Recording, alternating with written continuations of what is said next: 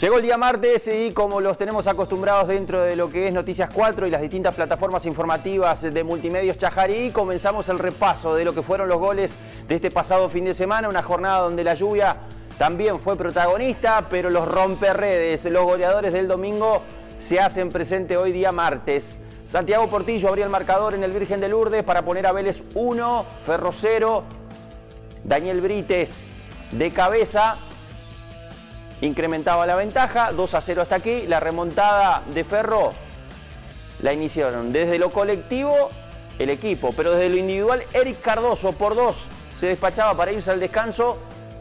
Igualada las acciones, un, un gol más lindo que el otro en relación a los de Vélez, pero también a los de Ferro. Buena participación de Cardoso, 2 a 2, se iban al descanso. Y en el complemento iba a haber muy buenas definiciones, como esta de Santiago Portillo que parte prácticamente desde la casa, recorre el andarivel derecho, detiene el balón y sobre la humanidad de Luciano Almirón pone el 3 a 2. Parecía historia sentenciada, pero Ferro no se dio por vencido. Desde lo colectivo iban en esta situación donde la inicia Santiago Capovila. Hay una intervención de Alejandro Romero fantástica Eric Cardoso y Santiago Capovila, que había iniciado la jugada, define 3 a 3. Esto no era todo, porque Ezequiel Roncaglia, testazo, parietal izquierdo, palo y adentro. Ferro 4, Vélez 3. El epicentro, tiro federal, es lo que estamos viendo en las imágenes. Los equipos Chacarita y Conquistadores. Antonio Cabral y Joaquín Romero, los goles del equipo que conduce tácticamente Carlos Ramos. El gol de Conquistadores, Mateo Benítez. Tercer gol en la temporada de Mateo Benítez. Viene derecho en cuanto a las redes. Este fue elegido el gol de la fecha y no tiene ningún tipo de crítica al respecto en cuanto a la designación. Fue el de Joaquín Romero. Los goles en frontera, San Jaime. No había ganado hasta aquí. 11 fechas pasaron para, para que el equipo del Dani González eh, marque goles, pero que sirvan para lograr triunfos. Y en este caso se dio de esta manera. Agustín Pintorelli por dos, Leites y Espíndola los goles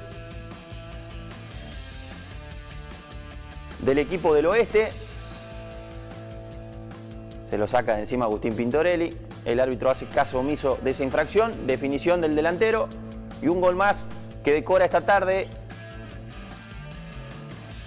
donde el mal clima hizo mella y lo vemos en el campo de juego de frontera, donde lo dejó en un estado delicado eh, para lo que viene.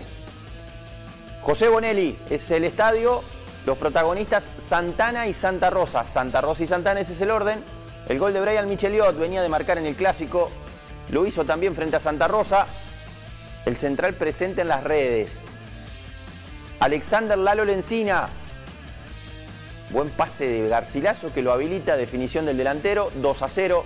Iba a descontar Facundo Silva de penal para poner cifras definitivas en este partido. Decíamos que la lluvia fue protagonista a lo largo del día domingo, en algunos lugares un poco más que otras. Bueno, Independiente fue otro de los epicentros donde la intensidad de la lluvia se hizo sentir, poco le importó a Mauricio Miño, que se despachó desde lo individual y volvió a definir de muy buena manera, esta vez para obtener los tres puntos. Victoria de Independiente por 1 a 0 frente a San Clemente.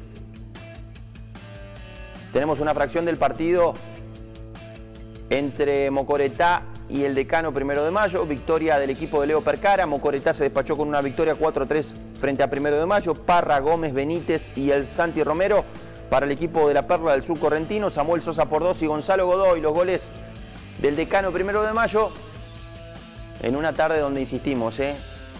la lluvia jugó una mala pasada, incluso para el trabajo periodístico. Y en estas cuestiones del repaso de los goles, podemos mostrar lo que estamos exhibiendo en pantalla. En cuanto a las definiciones, del primer tiempo.